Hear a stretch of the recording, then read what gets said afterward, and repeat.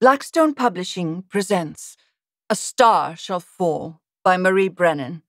This book is read by Gabrielle de Cuir and Stefan Rudnicki. Prologue Gresham College, London, June 20th, 1705. The room was a shabby one to contain the intellectual brilliance of England.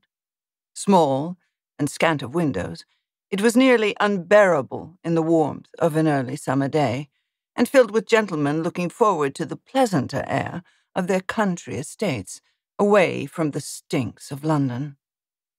Some listened with interest to the letters being read, an exchange between two of their fellows regarding the island of Formosa Others fanned themselves futilely with whatever papers came to hand, wishing they dared nod off.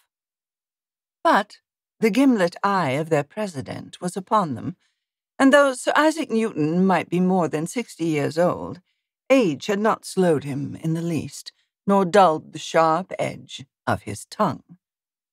They gave an impression of agreeable uniformity in their sombre coloured coats, so very different from the young gallants of London's beau monde, who took every opportunity to quarrel. Nothing could be further from the truth. Nullius in verba was their motto, on the words of no one. This was the temple of facts, of careful observation, and even more careful reasoning. The men of the Royal Society of London the premier scientific body of the Kingdom of England, were no respecters of ancient authority. They respected only truth. And when they found themselves in disagreement as to what that truth was, their arguments could grow very heated indeed. But there was little to argue in the second piece of that day's business, presented by Oxford's new Savilian professor of astronomy.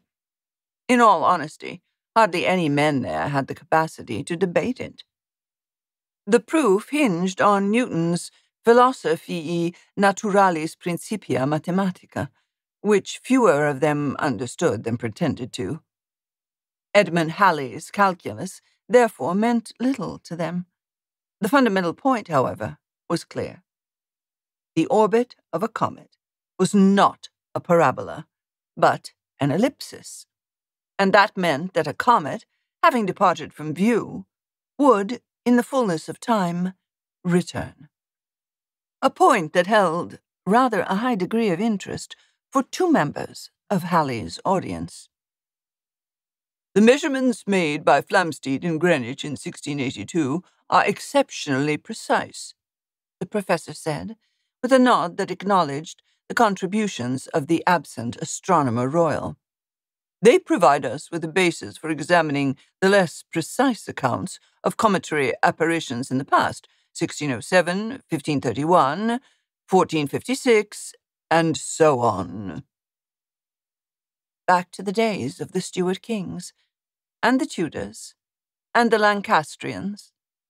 Many here today remembered the comet 23 years before, but a man's beard would have to be grey indeed for him to have seen any of the others Halley named. The one member of his audience who could claim that distinction had no beard at all. He was a young gallant, more often found haunting the halls of London's fencing masters, and his friends would have been surprised to see him in such sober costume, attending with hawk-like intensity to the dull minutiae of astronomical mathematics though not half as surprised as they would have been had they ever seen their friend's true face. A question, if you please, the gallant said, interrupting Halley's presentation of his Astronomiae Cometicae synopsis and drawing a swift frown from Newton. Could anything divert the comet from its path? The Savilian professor's well rehearsed presentation faltered. I beg your pardon? You say the comet travels far away from the sun, returning only every 75 years or 76. Could anything prevent that return? Sending it out into space? Halley's mouth opened and shut several times without anything coming out. Oh, I suppose. We hope you enjoyed this preview. To continue listening to this audiobook on Google Play Books, use the link in the video description.